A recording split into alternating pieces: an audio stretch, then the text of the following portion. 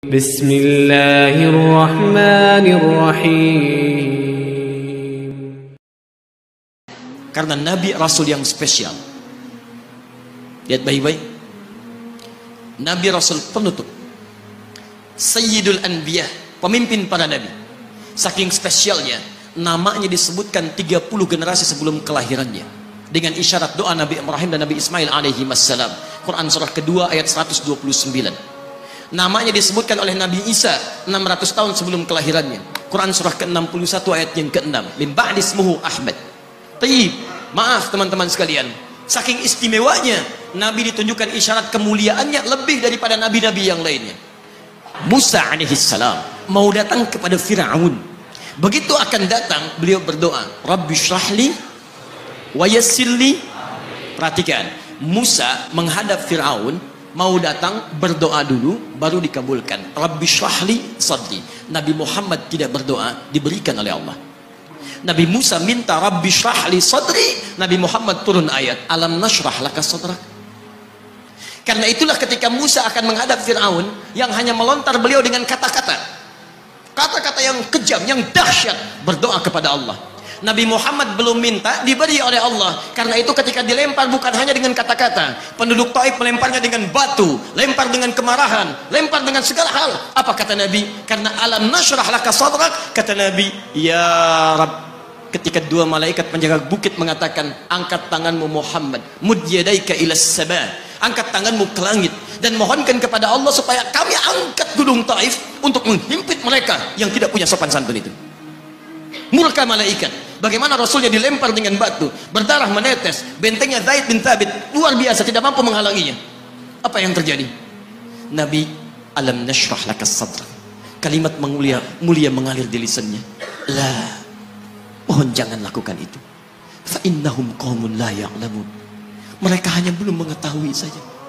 Saya bermohon kepada Allah kelak di bumi Taif ini akan nampak laki-laki, perempuan, besar, kecil, tua, muda yang akan mengatakan beriman kepada Allah dan Rasulnya. Lalu lantas beliau berkata kepada Allah dengan kalimat yang mengalir syahdu, dengan darah yang masih mengucur, dengan kalimat yang berbelas kepada Allah, Ilahi, ila man takiluni, am ila ba'idin yu'limuni, a ila qaribin yu'zini, fa ana radin ya Rab, ma lam alayya, la hawla wa la quwwata illa billah. Ilahi duhai Allah ila mentakiluni setelah dari sini yang saya dilempari saya dihujat. Ke mana lagi engkau akan antarkan saya? Ila qaribin yu'dhini. Apakah ke tempat yang dekat dari sini dan saya akan disakiti lagi? Am ila ba'idin yu'limuni. Atau tempatnya masih jauh yang harus saya tempuh tapi di tempat itu saya akan dihinakan lagi. Ana radin saya ridha ya Allah. Malam taghdab alayya sepanjang engkau yang tidak murka kepada saya. Alam nashrah laka sadrak manusia melempari radin. Manusia menghujat radin. Malam taghdab alayya sepanjang engkau tidak murka kepada saya. Muhammad sallallahu alaihi wasallam.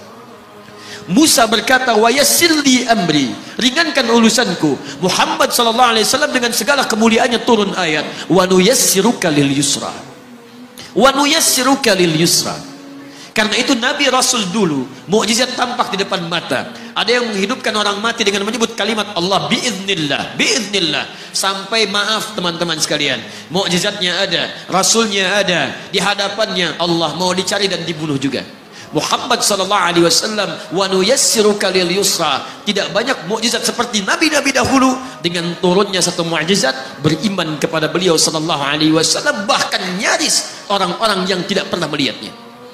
Lihat umat masa lalu. Kaumnya Musa, Musanya kelihatan. Mukjizatnya bagus. Tongkat dilempar jadi ular. Tongkat dipukulkan ke batu keluar 12 mata air. Quran surah kedua ayat ke-60. Apa yang terjadi? Umatnya masih belum mau beriman juga. Nabi Isa alaihissalam masih kelihatan. Orangnya ada, nabinya ada, mukjizatnya ada, rasulnya ada. Limat luar biasa. Mukjizatnya luar biasa, istimewa. Tapi apa yang terjadi? Dicari-cari nabinya mau dibunuh. Belum beriman juga. Muhammad SAW spesial.